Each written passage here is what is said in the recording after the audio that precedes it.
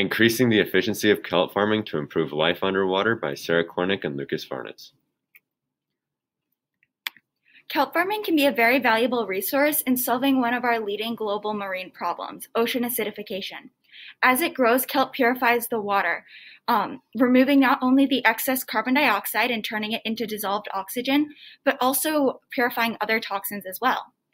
Kelp farming is especially useful because it's not only a solution to a problem, but it's a budding business as well. There's financial incentive to growing and producing kelp.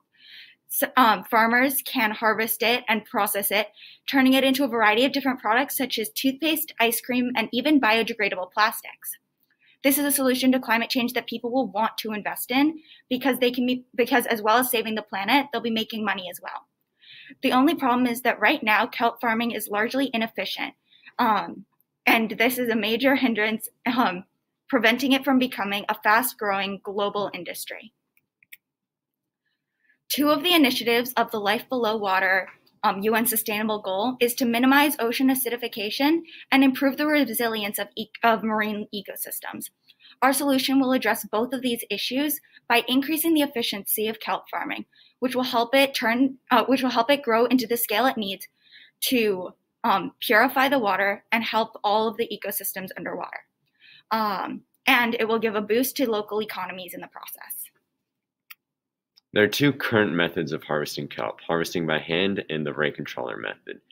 Harvesting by hand, they pull all the kelp that they have grown from the line onto the boat and then cut it by hand. This job is highly inefficient and it requires a lot of effort. And then the rake and trawler is they rake the kelp out of the ground, destroying local ecosystems and doesn't allow the kelp to regrow, so it's unsustainable.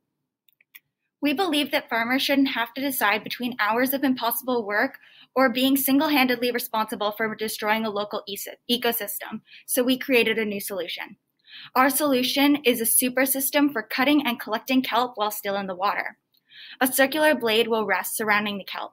The blade, the blade will then compress the kelp, cutting it. The kelp will then fall into the net um, underneath, which will then be unclipped from the buoys and pulled easily into the boat where the kelp can be poured out. The net will then be reset underneath the kelp where the, pro- where the kelp can regrow and the process will start all over again. It is easy and efficient.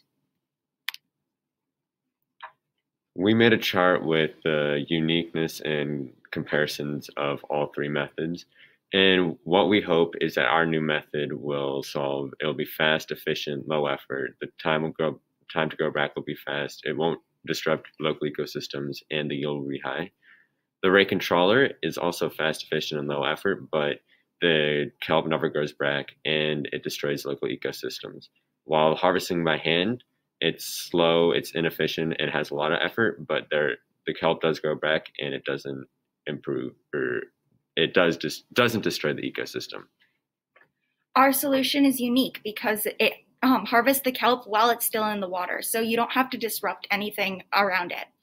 And also, um, as compared to all the other systems, it is the only thing that does not sacrifice either the health of the ecosystem or the time spent of the farmers. In conclusion, for farmers that don't want to pull their crops into their boat and cut it, our underwater harvesting tool makes gathering kelp fast, efficient, and easy. And unlike other products, uh, we focus on leaving the lines of kelp in the water. No other crop is harvested as kelp is today, either by hand or by destroying everything around it. So we believe that it is time to bring kelp farming into the 21st century.